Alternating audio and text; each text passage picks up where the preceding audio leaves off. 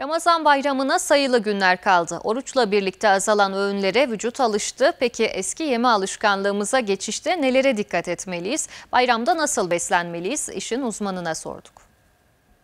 Ramazan bayramına sayılı günler kaldı. Evlerde tatlılar açılmaya, yemekler hazırlanmaya başladı. Peki bu süreçte nasıl beslenmemiz gerekiyor? İşin uzmanına sorduk. 30 E, gün boyunca uzun saatler süren açlık sonrasında bayrama giriyoruz. Düzenler tamamen değişiyor.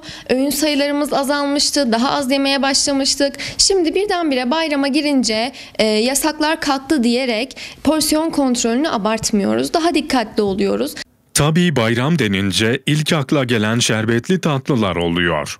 Uzmanlar sütlü tatlıları önerse de şerbetli tatlılar tercih edilecekse bile tüketilen porsiyonun kontrollü olması gerektiğini söylüyor. E, Şerbetli tatlılar yerine sütlü tatlılar tercih edilebilir. Fakat gidilen ziyaretlerde e, tatlı tercihi seçimimiz bazen olmayabiliyor. Bu sebeple eğer şerbetli tatlı yemek zorunda kalırsak da bir porsiyon yerine yarım porsiyon tercih edebiliriz. İkramlıklardan ekstra almıyoruz. Size bir çikolata ikram edildiği zaman ikincisini kesinlikle almıyoruz. Bir tane yeterli olacaktır. Çay kahve yanına mutlaka bol bol su içiyoruz. Çay kahve tüketimimize dikkat ediyoruz. Asitli içeceklerden uzak duruyoruz.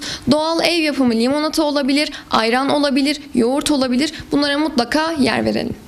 30 gün boyunca oruç tuttuktan sonra vücut öğün sayısının bir anda artmasından dolayı rahatsızlık belirtileri gösterebilir. Diyetisyen Gizem Can Polat eski düzene geri dönülen süreçte nasıl beslenilmesi gerektiği hakkında bilgi verdi. Sindirim problemleriyle karşılaşabiliriz. Mide krampları, karın ağrısı, mide bulantısı bunlar büyük ölçüde ortaya çıkabilir. Bu yüzden yavaş oluyoruz ve porsiyon kontrollü oluyoruz.